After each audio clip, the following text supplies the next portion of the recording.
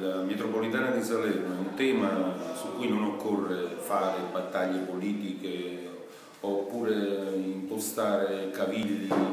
in termini di maggioranza e opposizione, qua si tratta di tutelare un territorio e su questo livello dovrebbero essere tutti d'accordo, tutti i componenti, maggioranza e opposizione, ognuno in casa propria, se ha da fare chiarezza faccia chiarezza, però la metropolitana è un qualcosa che rende più civile il nostro territorio, questo fatto non è né, né di destra né di centro né di sinistra.